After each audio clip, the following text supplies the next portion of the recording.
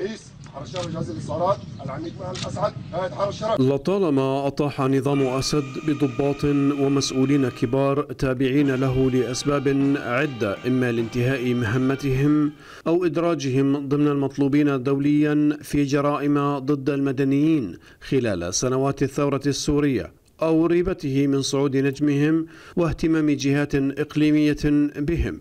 وتتمثل الإطاحة إما باغتيالهم أو إعفائهم من مناصبهم. وهذا ما حدث مع اللواء جميل حسن رئيس ميليشيا المخابرات الجوية إذ كشفت صفحات موالية عن تغييرات طالت مراكز قيادية وأمنية حساسة في كل من إدارتي المخابرات الجوية والمخابرات العامة على رأسها إعفاء الحسن. وأشارت المصادر إلى أن اللواء غسان جودة إسماعيل تسلم منصب إدارة المخابرات الجوية خلفا للواء جميل الحسن المشهور بدمويته واستعداده اللامتناهي للإجرام والذي أعفي من منصبه بعد أيام على تمديد خدمته عاما إضافيا وشملت التغييرات شعبة المخابرات العامة أيضا إذ تم تعيين اللواء حسام لوقا بدلا من اللواء ديب زيتون فيما تم تعيين اللواء ناصر العلي كرئيس لشعبة الأمن السياسي خلفا لحسام لوقا. وذكرت مصادر موالية للنظام أن الأسد عين اللواء علي مملوك نائبا له للشؤون الأمنية وحل اللواء ديب زيتون محله في رئاسة مكتب الأمن الوطني.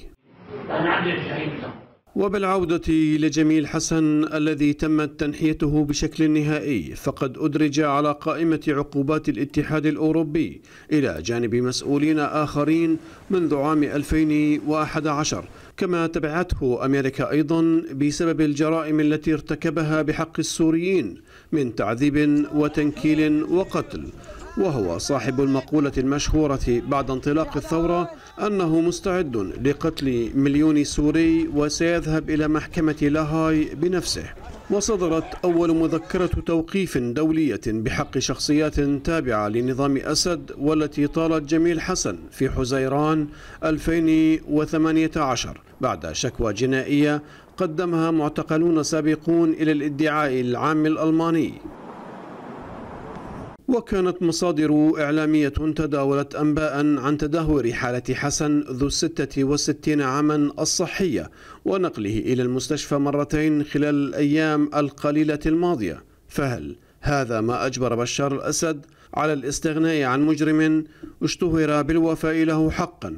في حين عزت مصادر أخرى أن مهمته انتهت وقد حان وقت التخلص منه كما فعل الأسد بكثير غيره. بدأت عمليه